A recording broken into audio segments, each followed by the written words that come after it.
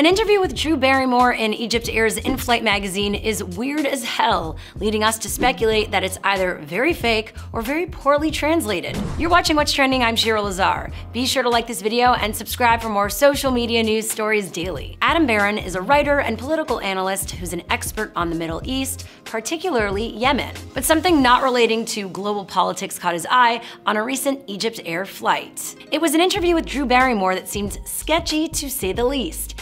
He tweeted photos of the magazine, writing, This interview with Drew Barrymore in the Egypt Air in-flight magazine is, um, surreal. And it really is. The interview from Horus contains bizarre quotes that appear to be either made up by a non-English speaker or poorly translated from English to another language, and then back to English. Stuff like, I find this a great opportunity to encourage every woman who is overweight to work on regaining her beauty and body, especially that it is not as hard as one may think.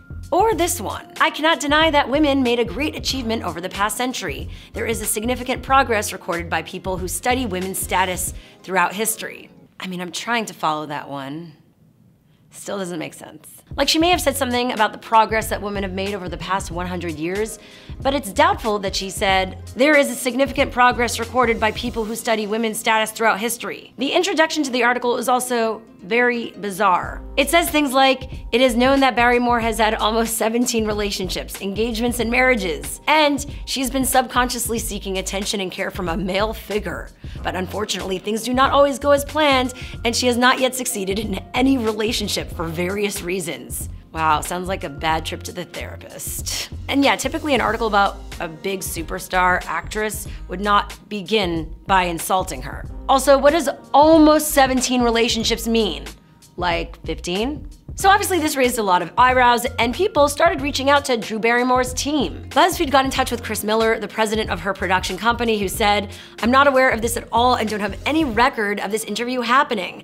And another rep told HuffPost that Barrymore did not participate in the interview. But despite all of that, Egypt Air is standing by their interview. Responding to a journalist who covers aviation news, Egypt Air tweeted, Dear sir, this is a professional magazine interview conducted by Dr. Aida Takla, former president of the HFPA, that's the Hollywood Foreign Press Association, and one of the voting members of the Golden Globes. Sure enough, Aida Takla O'Reilly is the former president of the Hollywood Foreign Press Association. And this might help us figure out what actually happened here. Because Drew Barrymore did do an interview with Dr. Takla O'Reilly for the Arabic language magazine Ahram. And when you translate what's printed in Ahram from Arabic to English, Barrymore's answers appear to make a lot more sense. Amazingly, a photo of Drew Barrymore holding a copy of Ahram that appeared in their magazine is also in Horus, but looks to be photoshopped so that she's holding a copy of that magazine. Like no one would ever notice. Good job, guys. So our best guess is that Ahram gave the interview to Horus somehow, and so her interview got translated from English to Arabic, then back to English. Oh, and they spent their introduction to the interview insulting Drew Barrymore as well. For his part, Adam Baron is a little surprised that his photo on Egypt Air went as viral as it did. He wrote, Adam Baron, Drew Barrymore has 5,000 Google hits.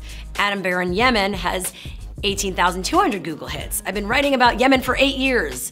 All the Drew Barrymore stuff is from the past 30 hours. So what do you think happened with this weird interview? Let us know in the comments below, and be sure to like and subscribe for more of what's trending.